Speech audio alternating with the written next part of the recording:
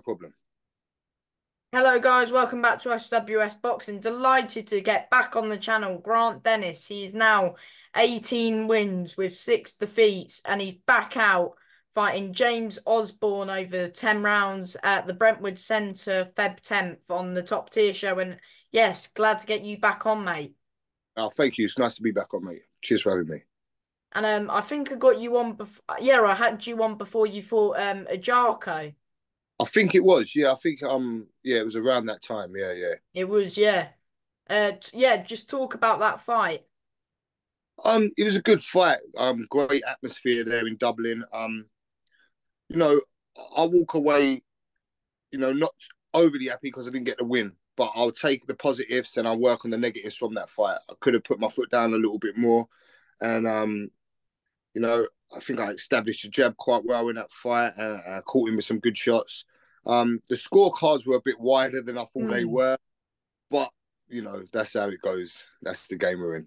I thought, yeah, hundred percent. They it wasn't hundred to ninety. I thought maybe if you, I thought maybe you had two or three rounds. Yeah, that's what I thought. I thought he he, he won the fight, I believe, by yeah. by a couple, but it weren't no shutout fight, and um, I think most people knew that. You know what I mean? You had good. You had some success in that fight with the jab. I did with the jab. I, I know I hurt him in about you know the seventh round. I think I hurt him. Do you regret got, not jumping on him? I do a little bit, but I know he's smart and I know he's sharp. So um, mm. I keep my, my my mind, you know, um, you know, on a level on a level field there because he was hurt, but he's got a good chin. You could see his legs wobble in that seventh round when I caught him with a left hook.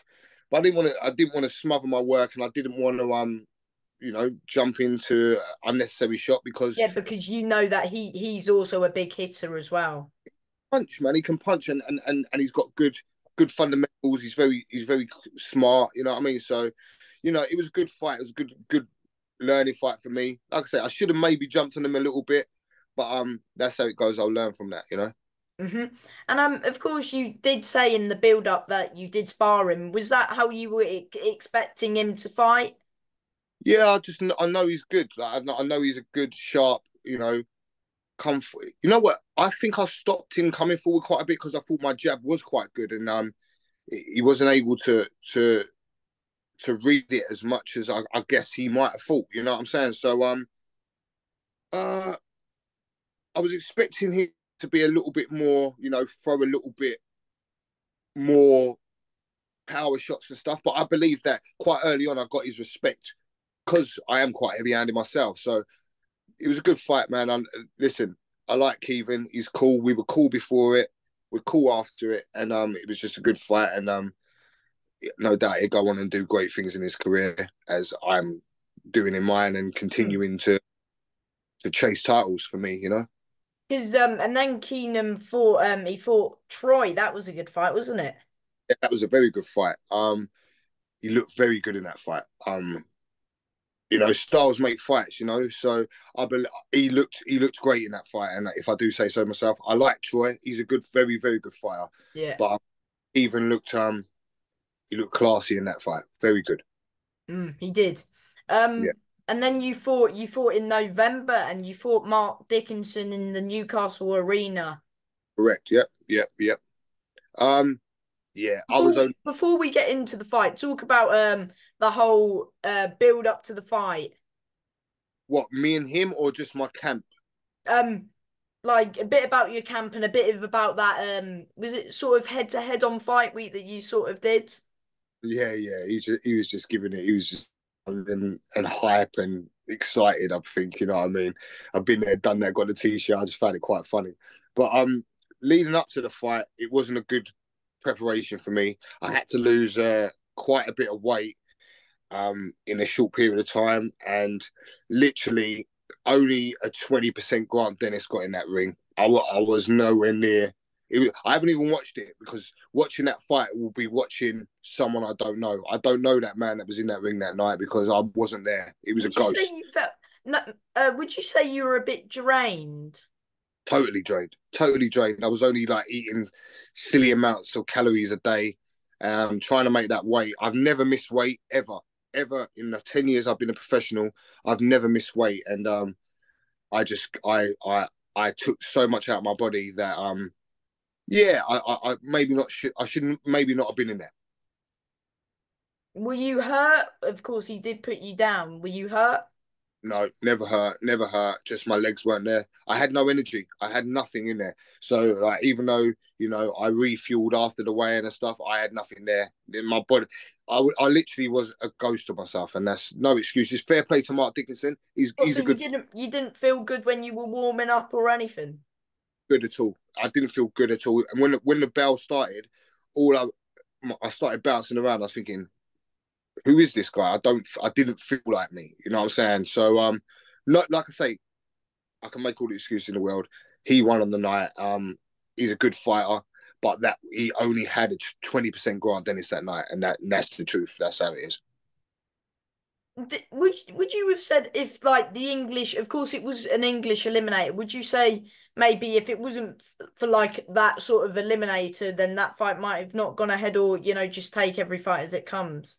Possibly in my head, like the week leading up to the fight, I knew I was gonna, I was, I was struggling at the weight just because trying to get it off and to, you know, I have to be healthy. I have to get in that ring with my my faculties and my body has to be good. Any athlete does, and I knew leading up to that that I, I, I wanted to fight. I thought a thirty percent Grant Dennis could beat him, but evidently, you know. I wasn't even thirty percent. I was twenty percent, and like I say, the guy that got in that ring that night wasn't me. That wasn't me. Mm. But you've got um a chance to um you you back out and you're in another big fight. You only take big fights, don't you?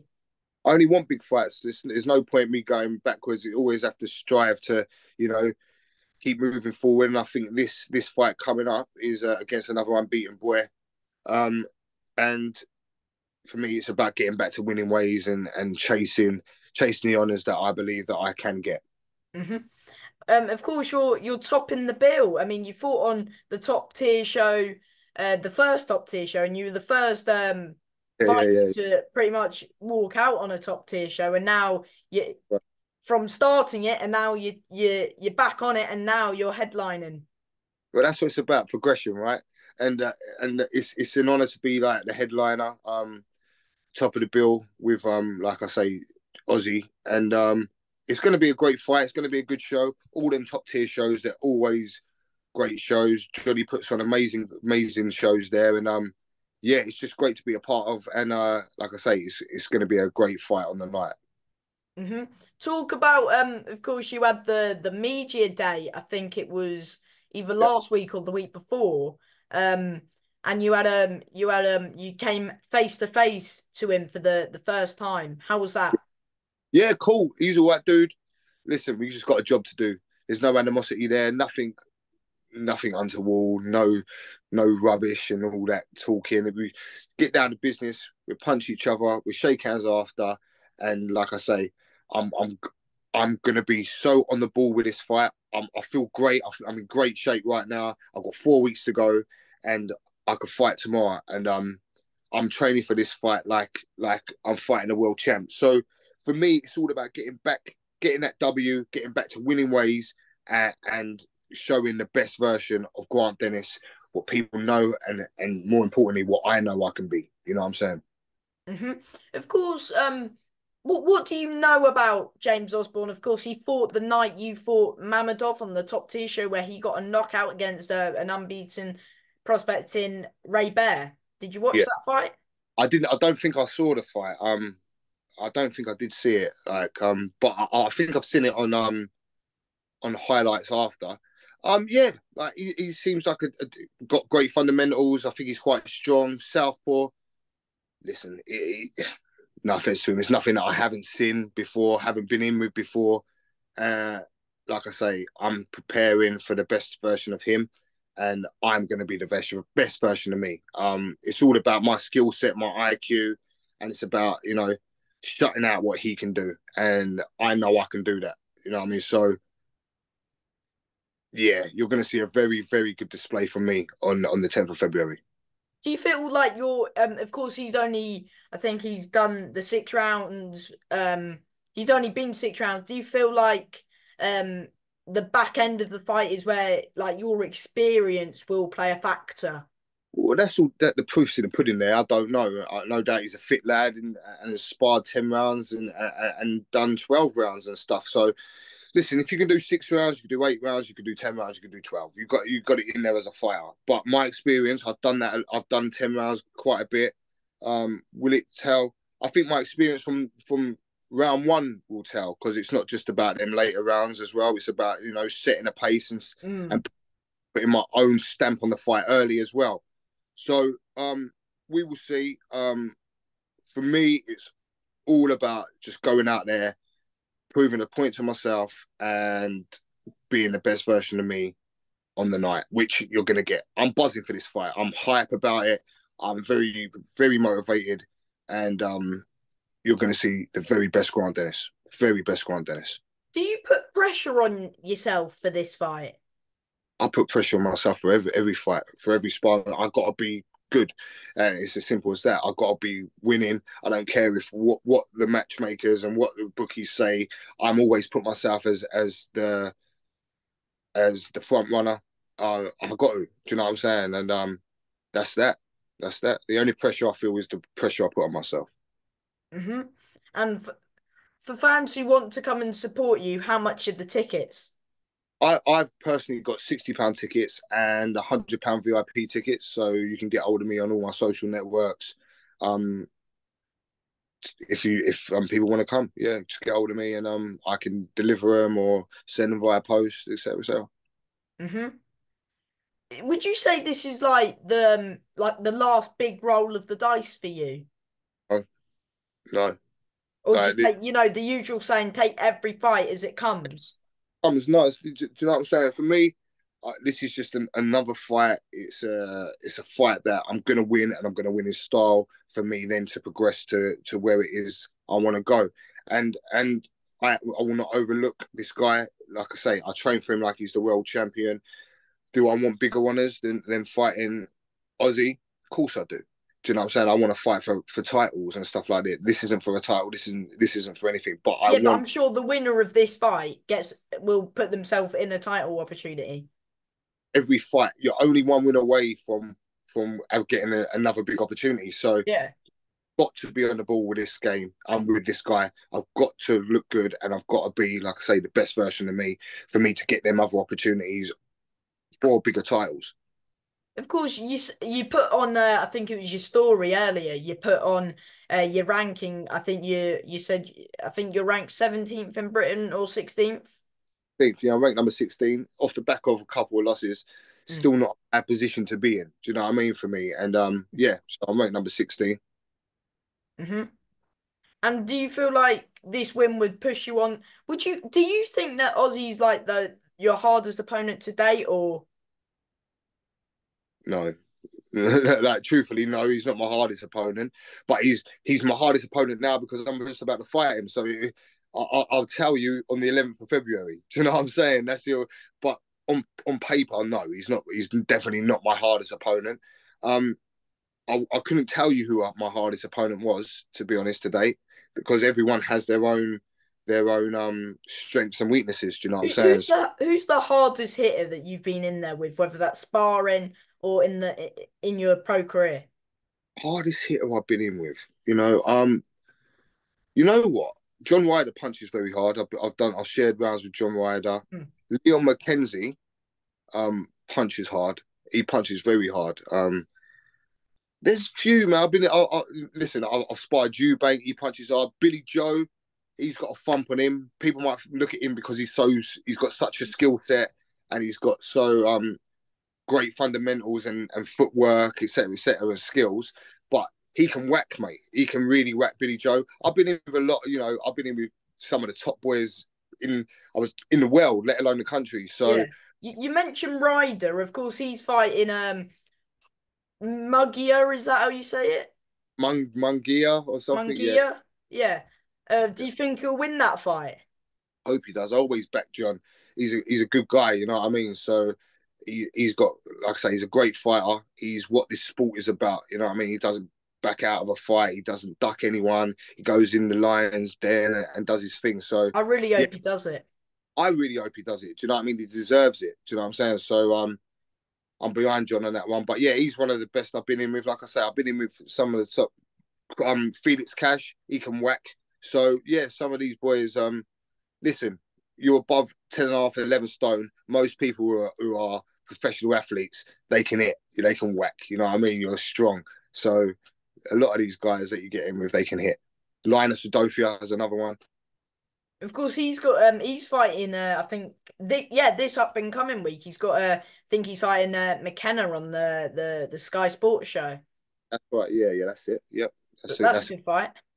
Very good fight. Yep. I, I'm I'm backing my boy Linus there. You know. i yeah. He's, say Linus is um he's so intelligent when you get in there with him you do something, he'll do something. You'll do something, he'll try and figure it out. Me and him, we're like a chess match in there. It's um, it's great sparring, great rounds with Linus, and and like I say, he's my boy. I've not long got off the phone to him. Funny enough. Who've, who've you been sparring this this camp like? Oh, a few people. To, tomorrow, I'm actually sparring. I think it's um, forgot his name, mate. a guy from it's William Webber or something like that. I'm just trying to find He's good stuff. Southern Area champion. He is, yeah. So so we're, we're trying to get good good fundamental rounds in and good rounds in. I've always got people like Louis Greene, even though he's not a southpaw, he always brings very good work, especially with that. And pressure. he's he's like he's aggressive, and so's Ozzy. Like he comes forward, he likes to scrap, and Ozzy likes to scrap as well.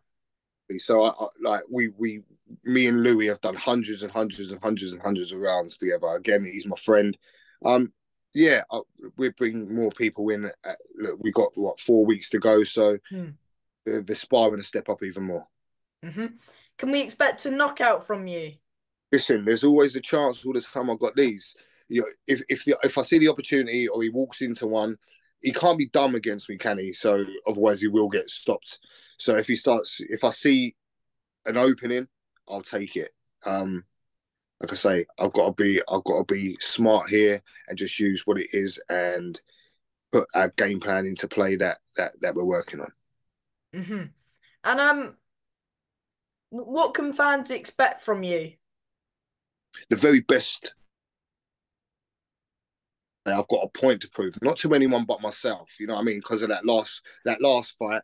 Um, like I said, I've not even watched that last fight because that weren't me really. So I um I just want to put on a good performance for all the people that have supported me over the years. Like I say, this is my tenth year as a professional fighter, and uh, there's still more to come. I've only I've I've not shown every single thing in my arsenal. Um, I've only shown bits of it. I I know there's so much more to come out, and uh, a lot more is going to come out in this fight. A lot more. Hmm uh, do you feel like you you two will steal the show? Well, that's the plan. You know, that is the plan. Hopefully, get your popcorn ready, get your whistles ready and your hats because it's going to be a show. It's going to be on. It's it's on. Like, do you know what I'm saying? If he comes with that aggressive nature, then listen, fighters like fighters like that are five off of. You know what I mean? So, I think he's a good fighter, man. I think he's decent, but I feel that my boxing ability, my IQ, my strength, my speed is is is is all wrong for him, and you know that's what I'm going to do. Mm-hmm. And and before I let you go, Grant, do you want to thank managers, anybody who's helping you? Yeah, everyone knows who they are. I'd like to thank my like like my manager Lee Eaton. He's done great things for me since that I've becoming my manager. Um, all my sponsors, they know they are. Uh, trainer Varen, my brother Jordan, everyone, my family, my kids, everyone that, that's supporting me right now, like all my family. Um, yeah, man, that's what it's about, bro. That's what it's about. Family and friends supporting me, and like I say, Pat Hawley, my brother, they all know they are. There's too many of them. Mm-hmm. And from me, Grant, thank you for your time as always, and good luck on Feb 10th. All the best. I appreciate it, buddy. Thank you. Thank you, Grant. Enjoy the rest of your evening. Top man. Take care.